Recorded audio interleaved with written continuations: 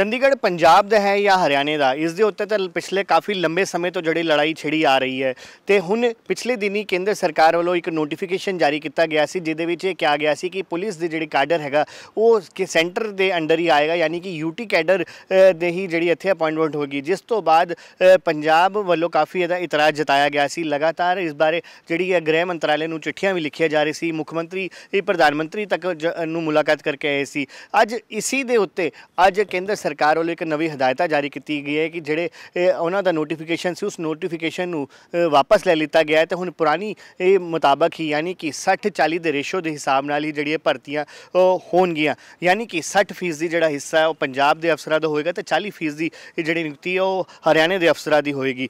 ਤੇ ਇਸ ਫੈਸਲੇ ਦੇ ਵਿਰੋਧ ਤੋਂ ਬਾਅਦ ਅੱਜ ਕੇਂਦਰ ਸਰਕਾਰ ਵੱਲੋਂ ਇਹ ਫੈਸਲਾ ਜਿਹੜਾ, ਮੁੜ ਤੋਂ ਵਾਪਸ ਲੈ ਲਿੱਤਾ ਗਿਆ ਹੈ। ਚੰਡੀਗੜ੍ਹ ਤੋਂ ਕੈਮਰਾਮੈਨ ਪ੍ਰਵੀਨ ਪਾਂਡੇ ਦੇ ਨਾਲ ਅੰਕੁਸ਼ ਮਹਾਜਨ, ਦੈਨਿਕ ਸਵੇਰਾ। ਟੀਵੀ